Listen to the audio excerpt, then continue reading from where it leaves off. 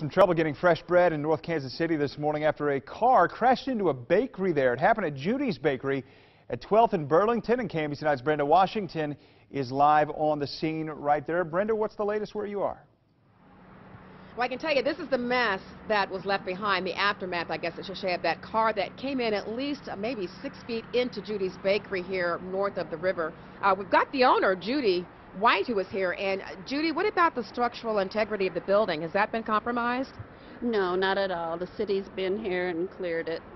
Um, and we just got a little mess to clean up. Oh, and boy, a big mess. Tell us about what happened. Who was here when all this happened?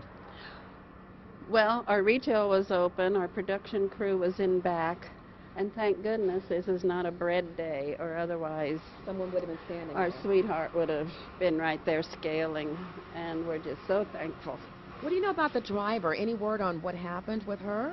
She just accidentally hit the gas instead of the brake, uh, and she was she was on her way to Commerce Bank. She was works there, was getting some donuts, and uh, just didn't stop. Oh my gosh. Well, I can tell you, I did have a chance to speak with the driver uh, for just a short minute. Uh, of course, if you can imagine, she, she was pretty upset about what happened, but she said uh, she was okay and, and things just happened so fast. But again, I want to let you know that Judi's Bakery, it is open on the retail side. This is the bread making side where they have a lot of their mixers and, and production back here.